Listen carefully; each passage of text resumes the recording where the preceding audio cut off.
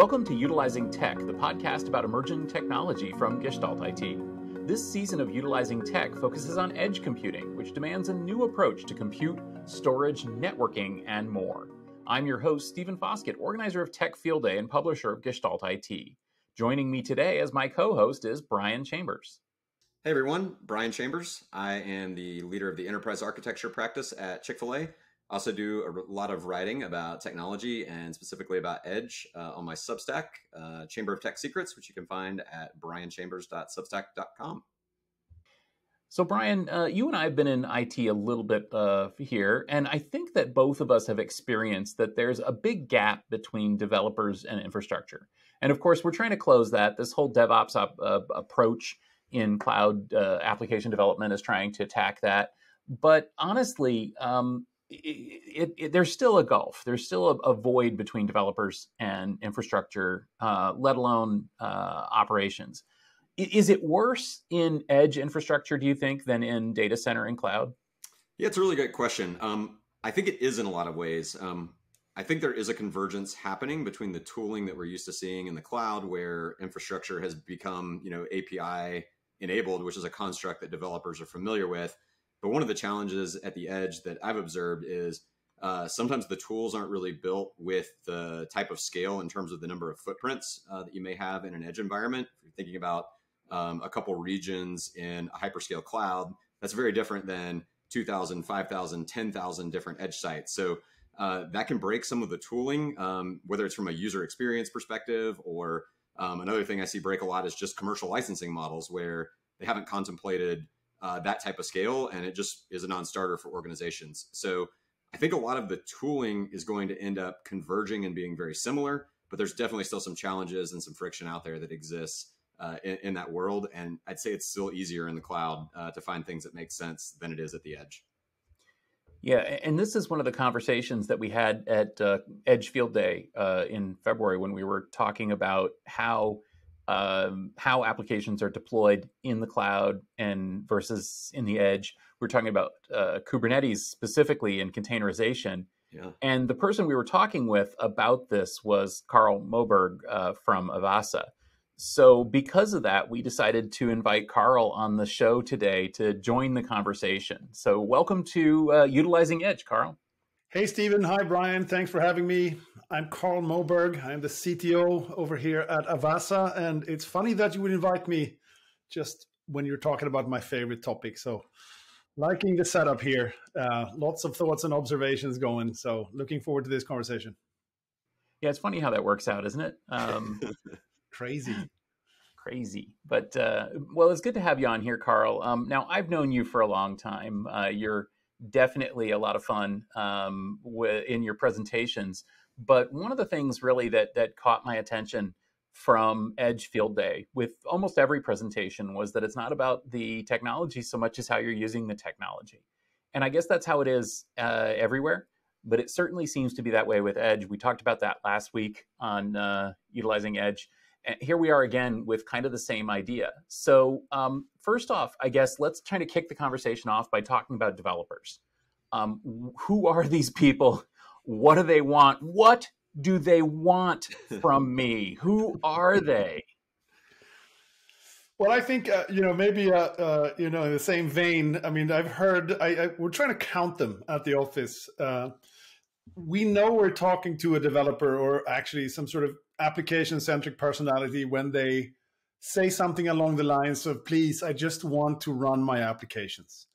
And the kind of flip side of that is that please don't provide too leaky of an abstraction in terms of infrastructure. I don't need to see the entirety of the proverbial sausage making factory, uh, you know, uh, in the infrastructure itself. Please provide me something that has my application workloads in focus and they come in different shapes and forms of course but that's something we always look for. It's like if if if there's that kind of term like i care mostly about my applications i trust others to run the infrastructure for me then that's something i would you know someone i would probably put in the in the application bucket. And again they don't have to necessarily be that's why i think maybe the word developer at time is a little sketchy because they don't necessarily have to be living you know a part of their um, uh, working day inside of VS Code or something, or Vim or Emacs or something, but they definitely have an application first mindset. So I don't know whether we want to, you know, start inventing terminology here, but at times I feel like developers, you know, might be a little distractive. I would rather call them something, I don't know, man, we have an opening for a new TLA here, application centric engineers, ACE, ACEs or something. I, I don't know. But, but again, applications first and foremost, and they are happy when they see less of the naked infrastructure and the, and the sausage making.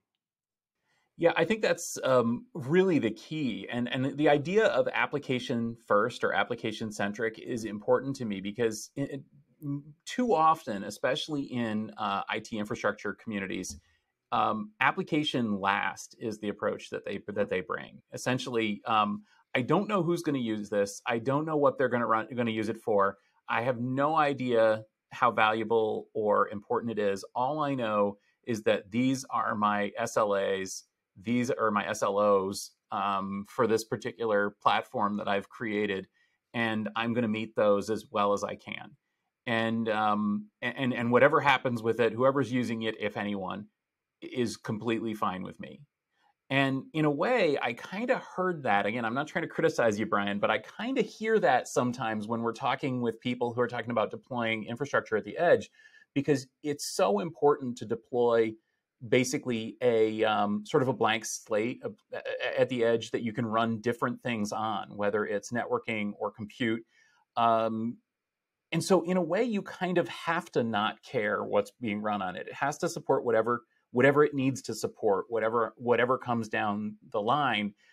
But at the same time, once that's running, you need to make sure that it's really optimized for those for those users, and you have to make sure that whatever you're building is attractive, so that the developers and the application owners are going to want to make their home on that infrastructure, right? Because if, if it's the wrong thing, then they're just going to buy something else and deploy it out there, and then it breaks the whole the whole goal of standardization, right?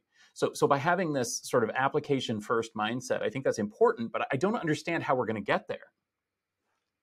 So the way I tend to think about it, and I, I, think this has been an interesting exercise over the last couple of years as this, you know, the edge market has kind of come to happen.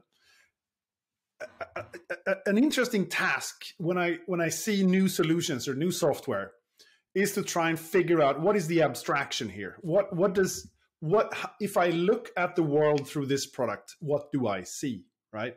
And I, I don't, I don't want to make it this too fluffy or too hippie like, but of course, I'd I'd like to see computer programs or, or platforms that has the application as the central object, right?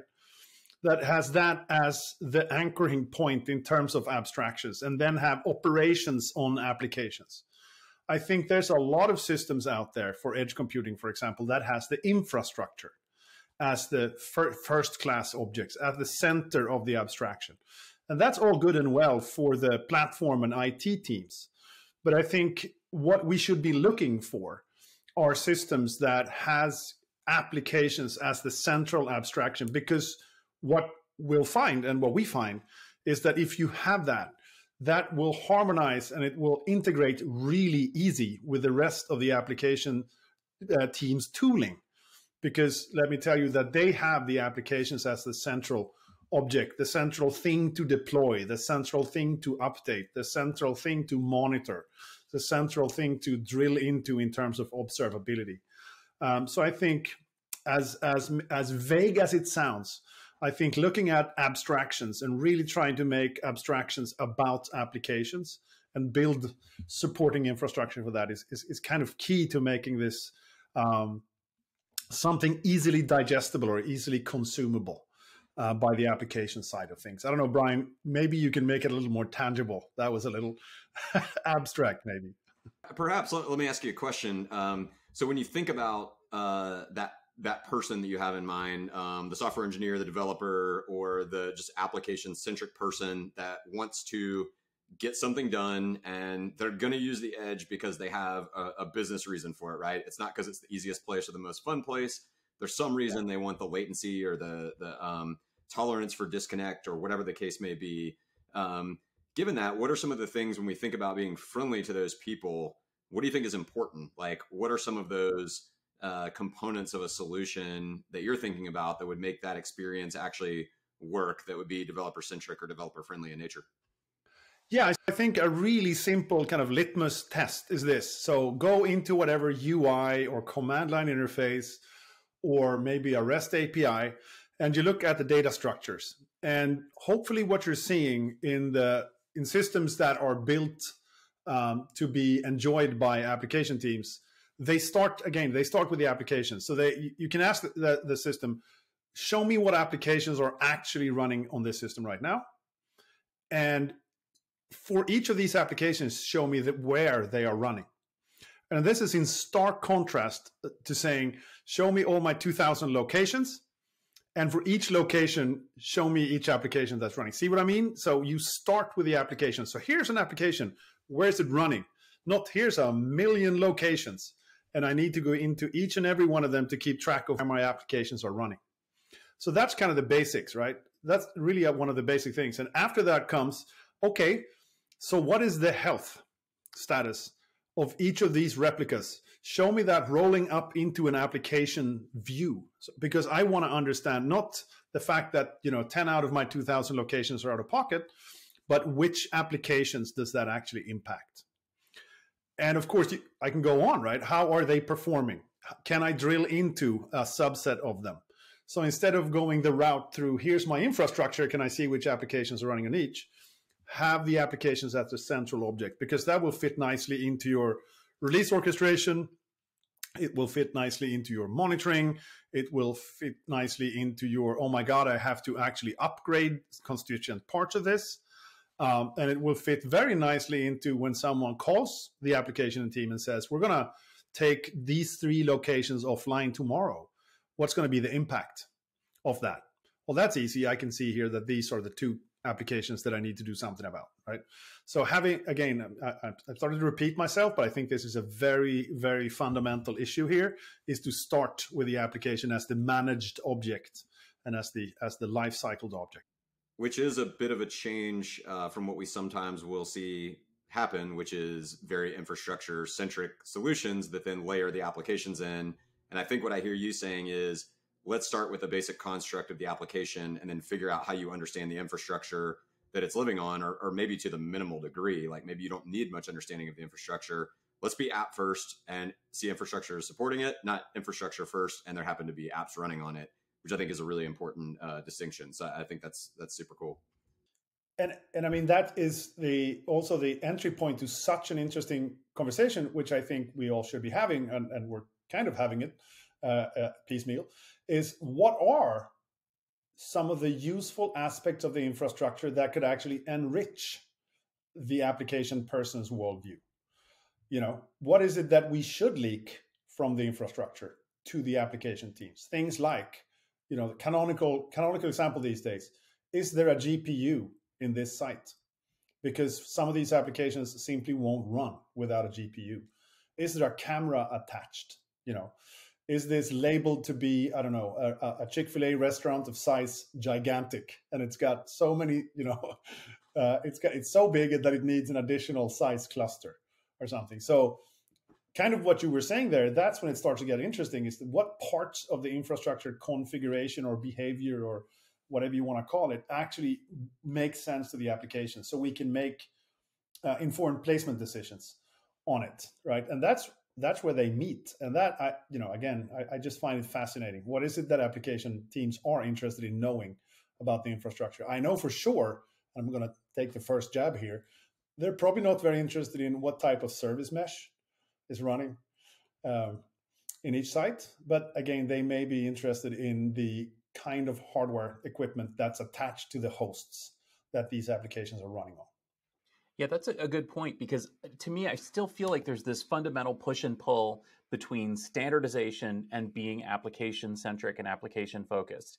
In other words, um, you know, to play the devil's advocate here, uh, I am developing a standard stack to deploy across my 2,000 um, retail stores. Uh, I am not going to have bespoke, you know, custom uh, offerings for each individual application. That's what's wrong at the edge in in decades past. Instead, what I'm going to have is a standard environment that either runs virtual machines or containers that runs them in a standard way. And as you say, Carl, there are certainly offerings that can be given. So, for example, as you said, um, GPU, yes, no, right? Maybe even um, sort of not hopefully to the extent that Amazon does it in the cloud, but some sort of um, offerings in terms of I want a big one with a GPU, or I want a little one that can, you know, that doesn't need much memory or something like that. I imagine that there could be things like that. But at the end of the day, is it really possible to create application specific infrastructure and yet have it be supportable across a thousand locations with no IT admin?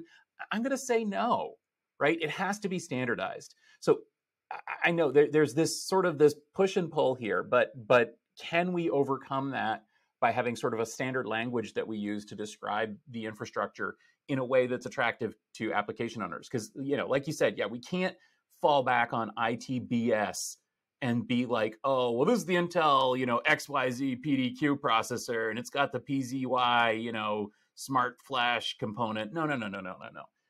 But you know, there's got to be some way that we're describing what the application owner needs in a way that fits with a standard approach to deploying that. Oh yes, and I. It's not for the lack of the IT industry trying. To be very honest, I mean there are things. If you stick to Linux land for now, there are things like SM BIOS and DMI, and there's actually server level things like Redfish. There are, you know, there's something called UDEV in the Linux kernel, and they're all kind of from different eras with different structures, with different original intent. Um, and I don't. Poof, it, it'll be interesting to see whether we, we then the IT industry as a whole, of course, uh, the royal we, um, will ever get our ducks aligned or in a row enough that we believe that that we need a single standard for it. Um, this I ooh, this is actually uh, it's it's rough being a CTO and not having a, a, a, formed opinion, right? So I'm gonna be I'm gonna be I'm gonna be bearing myself here to say I don't actually have a very strong bet on where this is going. Uh, whether we're just going to build stuff on top of the existing stuff in a very pragmatic fashion, that's certainly how we do it. Um, we happen to love data models, so we've wrapped a data model around, you know, the, the subsystems that I just told you about, SMBIOS, DMI, and and UDEV. The good thing about that is that it allows you to do like tree-based label matching, you know, for it there's a slew of really challenging things. They're overlapping. You know, the semantics are a little tough to understand. I'm sure uh, a lot of application centric people will be underwhelmed or not impressed at all by the lack of structure and such. Um, but it's it's a very maybe I should try and form an opinion about this. Actually, it, it feels like a weakness uh, that I don't have one. Maybe Brian, do you do you have any ideas of how we? Sh- I don't know. Do, should we structure that kind of data? Is that worth doing at all? Yeah, I don't know that I have a strong opinion. I mean, eh, keeping keeping kind of uh, in the same theme of the topic we were talking about with friendliness to developers, and then kind of trying to use cloud here as a parallel in my mind. Um, there there are times where some of those details matter when those things matter to a specific application, right? Um, it's like sometimes you might care what sort of uh, host you're running on because uh, let's just be trendy. You're you're training uh, the Databricks uh, LLM or something like that. And you need like a really big instance and you care. But in a lot of cases, people just simply are not that concerned about that. And what they do want to know is, uh, is there is there some reasonable abstraction I can use that lets me focus on building the app and understanding if it's working well and if it's safe and secure? But then I want to like do the handoff via API in the cloud or can I do it via API at the edge? Can I do it through a construct like um, you know Kubernetes or uh, HashiCorp Nomad or something you know um, different container runtimes, whatever the case may be? Um, I think that's where where the uh, where the energy is going to go, and there's going to have to be people who care about the infrastructure, right? We've pretended with cloud that nobody cares about infrastructure, that serverless is a thing, and that we just run our stuff, but somebody cares because they have to run the thing behind the scenes. So it still matters I just think it's going to be a decreasing amount that it matters uh, that it surfaces up to the level of someone who's building an app with probably GPUs for a while being one of the exceptions, um, and that being the thing that came up in the LLM example I just mentioned as well. So that's kind of my thought. Um, how does that resonate with you?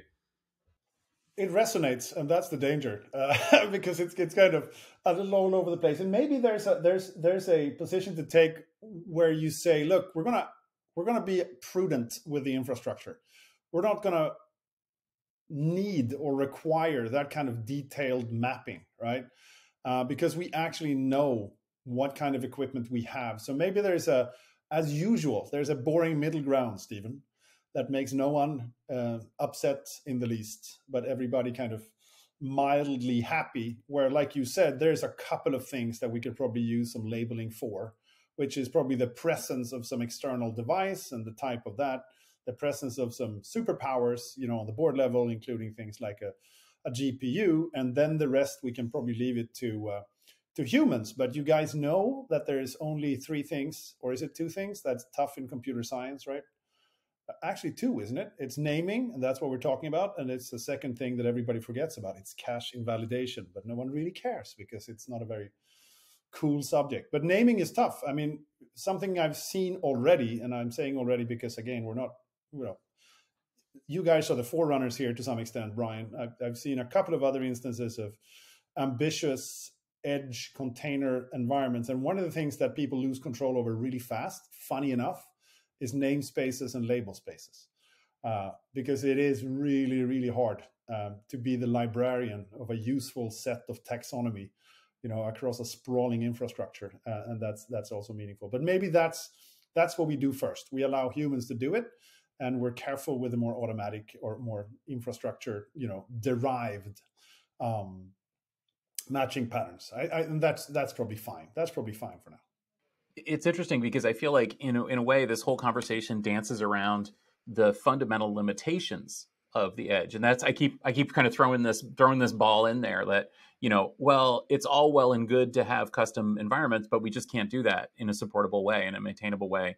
Um, in a way, the the fundamental aspect of edge to me is is the limitations more than anything, and I think that that's one of the one of the aspects that gets in here, whether it is in terms of um, customization um, and supportability, but also just just in terms of you know what kind of hardware can we deploy out here? Because yeah, as you said, like if if we want to say yes, we can have a an application that needs a tensor processor um, in order to do some kind of AI app, uh, like an inferencing app, um, then that means you have to roll that out everywhere, and it has to be universally available everywhere.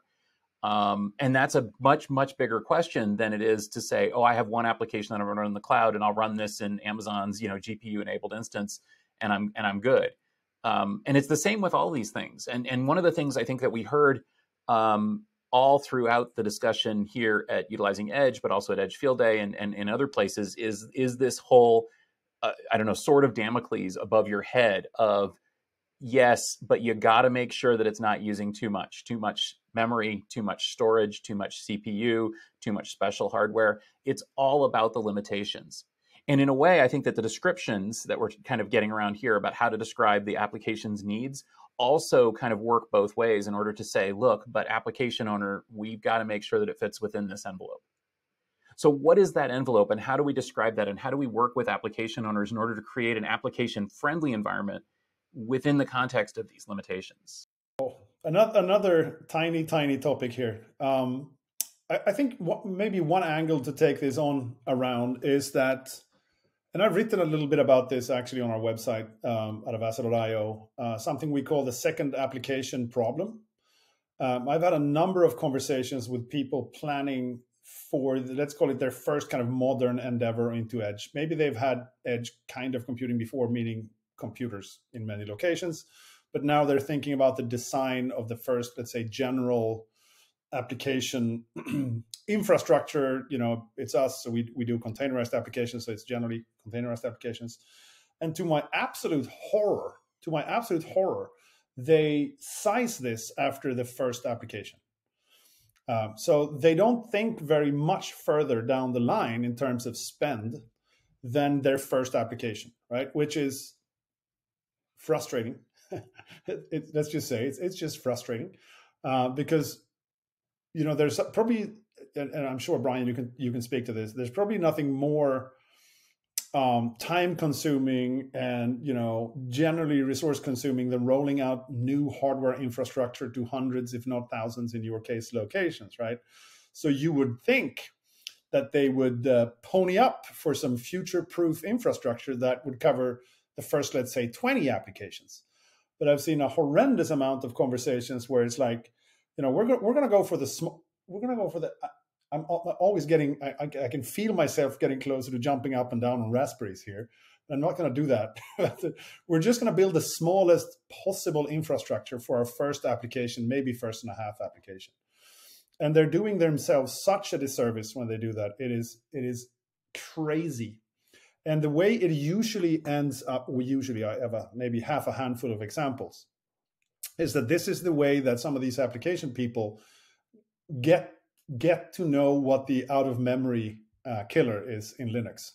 I don't know if you guys have heard that, but Linux has a very interesting behavior when you start to run out of memory, and it's not it's not it's not something you want to get operationally uh, knowledgeable about, right? Um, so I think the first thing we should talk about is that how do you please size your edge infrastructure for at least two, three generations of applications, for at least two or three handfuls of containers. Uh, that is, I, I, if you don't do that, there's just no way an application team or application teams in general will be particularly happy for particularly long. And it, I, I, keep coming back to, I feel like I'm talking about Brian's expertise here. I'm hoping he can. Uh, how, how, did you think about this when you when you sized your installed base? I mean, did you have hard and fast thoughts about what is the size um, of infrastructure that we need for application teams to to be able to live on this? Yeah, well, I would say number one is it's unfortunately, um, at least in my experience, a little bit more of an art than a science. Um, there wasn't a, uh, a spreadsheet to put a bunch of numbers in and get an answer that told us to get a certain size of Intel NUC. You have to get an Intel NUC, right? That's the only uh, that's the only option that actually works at the edge, as far as I understand. But uh, but uh, when you think about that, um, we we tried to anticipate um, and find a sweet spot between what is it going to cost for us to make this initial investment, knowing that some of the use cases that we anticipate having success with are unproven at present, right? We're gonna we're gonna have to prove some things out, and we don't want to overinvest, but we also don't want to be in the situation you described where very quickly we're yeah, there it is. Very quickly we're saying, whoops, um, we can't run any more workloads, and we made this great investment, and we built this platform um, that enabled us to do a bunch of cool things, but it's all kind of stuck now supporting you know, uh, number one or number two or number three in terms of use cases. So for us, it was a little bit of that, like, let's be conservative uh, enough so that we, you know, don't overinvest. We didn't put giant machines in every store. Um, and our constraints forced us to do that uh, to some degree because of physical space. But then also, like, what do we anticipate seeing over the next three or four years? Because hardware has a life cycle. Uh, we we can forget that in the cloud, but it's not going to be there forever. Um, and at the edge, it's probably not going to live as long because there's a good chance, at least in my kind of edge, it's not optimal conditions. So we try to think about what's going to happen in our business and what are our plans over that window of time that we think that hardware is going to live. And then I want to kick a question over to you because I think we're dancing around a word that doesn't get used at the edge very much. And I'm curious your opinion. That word is scale. Is there such a thing as scaling um, at the edge, and, and, what might that look like? Um, what do you think, Carl?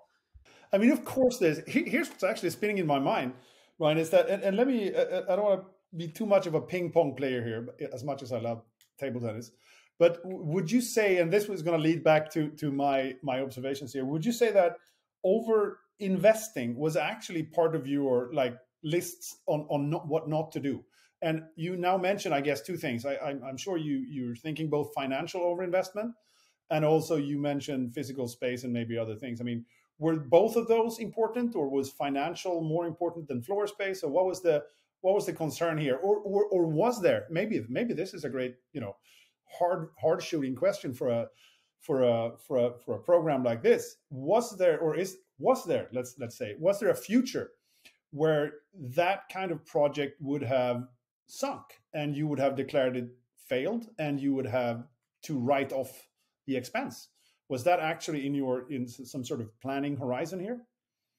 Yeah. Um, so a couple questions there. I'll, do my best. Uh, correct me if I'm, I'm missing any. Um, the the last one first. So I think the possibility of failure at the edge is, was completely possible in the early days. That this didn't make sense. That it didn't act. It wasn't actually possible to operate it effectively um, at the scale of you know 2,500 now 2,800 restaurants, um, and on and on. So we certainly contemplated that as a possibility.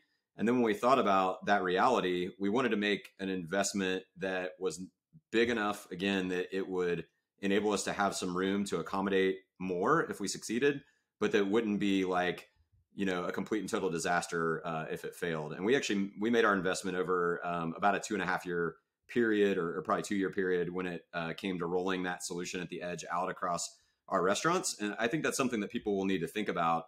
Um, do they need to be everywhere? on day one, or is there a period of time to learn um, with a little bit less risk and uh, and figure out what works? And then when I think about what we did, if we had had 10x the demand we expected, the size of the hardware investment that we chose to make was not so big that we couldn't have done one of two things refreshed it quicker than anticipated, refreshed it like two years instead of three or four years, uh, or plus one. Um, so we started with three nodes we do have physical space and probably could have found a way to make it work with some some dancing uh, to go to four or five if we truly had to. And so to me, when I think about scale, that's kind of what I'm thinking about is there's the pod scaling in Kubernetes for us or the container scaling or the WASM scaling or whatever else you want to say uh, at an application level. But the infrastructure scaling, um, you know, it's not dynamic and on the fly. It requires procurement and shipping devices now instead at the edge, but it is still possible given uh, you have the physical space for it, the network uh, capacity for it, et cetera, et cetera. So that's what I would I would say is the way that we thought about it, and sort of the way that I would answer that question about scale. Yeah, no. So thank you, and, and I now you you said half of the words that I was thinking about saying. I think there are again at least two layers, right? Like you said, um, there's the physical layer. So I mean, I, I, focus mostly, and I'm, I'm thinking about mostly, let's call it a you know platform style edge, as opposed to very heterogeneous, you know, one piece of hardware per application, that kind of vertical, little more exotic, or maybe some old school edge. Um, so, of course, good good practice is to build it, I guess, the way that you mentioned, like make it easy to n plus one um, make it easy to n plus one physically, make it easy to n plus one in terms of what kind of clustering mechanisms that you have, the scheduling mechanisms that you have. And I think also, and I, I know you guys are running, I guess, um, uh, a single administrative domain, but we have seen a lot of users where they want resource, um, well, they want multi-tenancy on the resource level to put, to put it easy, you know, to make it easy. And of course, that puts a whole that's a kind of an almost like a next level scaling is that how do we actually assign more or less how do we scale out existing tenants? How do we add new tenants? How do we maybe even contract certain tenants? Um, and i guess the long term planning and would love to hear if, if you're doing any of that is like how do we track resource consumption so that we can reliably say well so you can go back to your team and say guys in in three and a half months, there's a fourth node coming or fifth node coming. Um, do you guys do any of that kind of forward planning based on resource consumption? Is that is that a thing yet, or is that is it still a uh, manual enough kind of analysis labor here? Yeah, in our our world, um, the quick answer would be uh, yes, and we factor in both like, are we getting to a point where we're we're using all the capacity we have, um, considering failure conditions too, right? Like we can't go to 100% of all our nodes because that means if one of them fails, stuff is no longer running. So we factor that in uh, from a usage perspective. And then we're thinking about that timing with our refresh cycles for the hardware that are, you know, somewhat already planned. And that's a good sizing input for us into how much do we need to go up in our next iteration. So that's the way that we're thinking about it. And I'm cognizant too. Uh, one of the things that we've heard from other people in this space is um, that there are really some hard limits here, especially in terms of things that I guess I, I, data center people and cloud people are not used to having to deal with. For example, number of ports, like number of switch ports. Um, you know, adding one more node sounds easy until you realize that that means that the switch isn't big enough for one more node and then I need to have a completely different switch at every place, which means we need to replace that everywhere. And and there's these weird cascades like that. And maybe it's possible to add a fourth node, but not a fifth node, or you know something like that. And so there are all sorts of strange um, constraints and limitations at the edge that people just aren't used to. I just want to say real fast that that may sound silly to some people, but that is like our exact reality in our world is we have limited port capacity on our switches available to us and we have to factor that in as another constraint to consider. So that is 100% reality uh, when you've done this in the real world. Like you do have weird constraints that you just do not think about in the cloud anymore. Absolutely, and um, and and of course, you know, obviously there's power and space requirements, but generally you can find another electrical outlet or you know stick another thing in there. But you know, in many cases, you can't get much bigger and also some um, some solutions don't um, don't lay out nicely and don't scale nicely, and and and and that's another another constraint. So I think honestly, for a lot of people, the answer to scaling is going to be deploying a bigger one next time. So we actually um, are going a little bit long here, um, but I, I, hate to cut this off because it's really we're really warming up on this topic. Um, but that being said, um, given all of this, you know what's the answer? How do we build a developer friendly and application centric infrastructure when we're subject to all of these constraints and all of this requirement and, and making it supportable and making it something that can be rolled out everywhere? Uh, and, and carl that's kind of for you. You're the guest. Yeah sure. Again well what we tried to do was to really again look at the look at a distributed infrastructure with an application centric worldview. And and I think I mean what we did, and I love I know that this is one of your favorite topics. We started from the API down, right? So we we looked at what what would the abstraction look like? What would an API look like, right? And then we picked the components all the way down to the constituent nodes, right? And one of the many things that we realized that was that there's a, a number of things that we could just easily reuse, right? There are things like how do, how do we what is the structure for describing what an application looks like? There's insane amounts of prior art around that in terms of swarm and and um, you know kubernetes charts and, and all kinds of things that you can look for you know really things that would have been painful and stupid to reinvent like the fact that applications have names in a version. There's something called a service that is the set of containers that needs to be scheduled on the same node all these things, right? They're already there. No need to reinvent that. So okay, so that holds true then. Let, let's let's see if we can reuse that. And here I'm gonna I'm gonna I like poking on on my pet peeves here. This to me, for example, takes out the whole idea of a edge specific marketplace. Um, I don't I don't like that. The marketplace for containerized applications in every application centric person's worldview is called a registry and a repository. There's no need to create another you know app store or marketplace for that. Actually that's probably a disservice. So try to build on what's already there and what kind of works. The second thing then again is and that's where it starts to get interesting is if we are to allow application centric people some sort of self-service experience then we have to give them the reins in some way shape or form to describe to a system under which circumstances or where does this application run? Um, of course, at the fundamental uh, heart of that, that that scope of where applications can run needs to be managed by the platform or IT team. But given that they have control of that, I think that's the second part. You know, allow them to define their applications and allow them to describe to a system under which circumstances or where do I need to run this, and that's where we touch on what we touched before things like only if there's a gpu or only in sweden because we love sweden so much or only in uh, uh chick-fil-a restaurants that are size more than 100 chairs or something like that right? A, a configured aspect of it. That one is new and that one I, I'm, I'm, I'm very interested to see where that kind of description will end up. Is that something you should put in your gitops is that something you should manage as a separate like application release orchestration manifests? Is there something you should version? I don't know yet, but I think those two abstractions, what's an application and where should that run, should be at the heart of the conversation.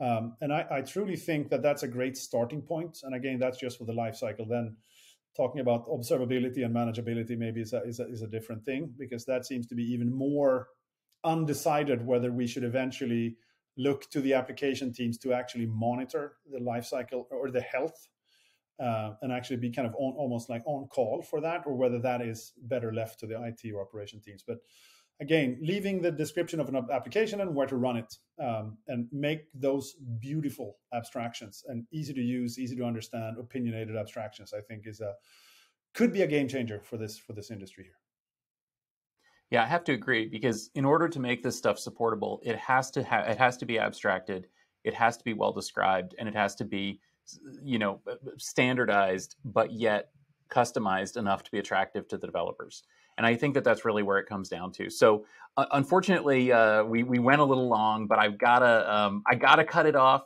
Uh, Carl, I really appreciate having you joining us here today. Um, I if you're interested in this topic, if you want to you know kind of continue this, I do recommend checking out the Avassa presentations from Edge Field Day. Uh, just Google or Bing or use your favorite search engine to find um, Avassa and Edge Field Day uh, you'll you'll you'll hear a lot more discussion about this. But Carl, where can we connect with you? Uh, what are you doing lately? Uh, where can people continue this conversation? Well, if you're on the event circuit, um, you can find me at the Edge Computing Expo uh, in the coming week, I believe it is, in Santa Clara. Um, I'm going to be all you know caffeined up in the booth, ready to demo. We're going to have some exciting hardware with us as well to show the power of edge computing in, in many ways, shapes, or forms. So that's a good one. Otherwise, I'm always uh, writing my thinking at avassa.io under resources. We have a little bit of a blog there. And I'm at Twitter at C Moberg, and you can always find me alongside yourself, Stephen, at Mastodon these days. Yeah, right on. Go Mast. Um, how about you, Brian? Uh, what's going on with you? Yeah, this is a fun conversation. Thanks, Carl. Um, you can uh, find me, uh, as I mentioned at the beginning, at uh, Chamber of Tech Secrets on Substack. It's brianchambers.substack.com. Um, write in once a week on that, and uh, I touch on all kinds of topics uh, that are relevant from an enterprise technology perspective. Uh, cloud and edge are two of the big ones.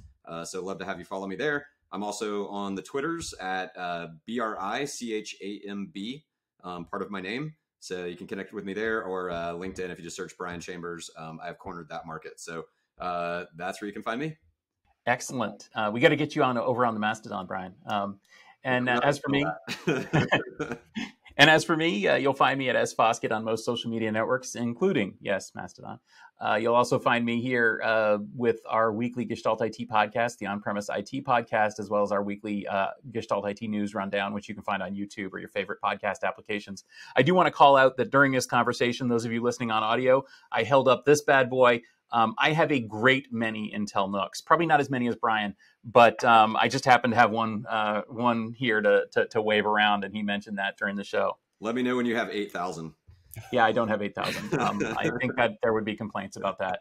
Um, I think I only have thirty, um, but there you go. Um, well, thanks everybody for joining us. Uh, thank you uh, as well for listening.